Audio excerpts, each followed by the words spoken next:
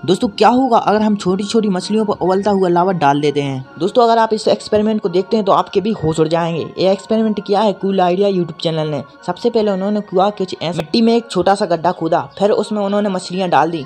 आपको बता दें, यह मछलियाँ मरी हुई थी। इसके बाद मछलियों के ऊपर वे खोलता हुआ लावा डाल देते हैं, जिसके बाद मछलियों का कुछ हाल ऐसा हो जाता है जो कि आप स्क्रीन पर देख ही सकते हैं। इस खोलते हुए लावे से मछलियाँ बिल्कुल फ्राई हो जाती हैं और बिल्कुल खाने लायक तैयार हो जाती हैं।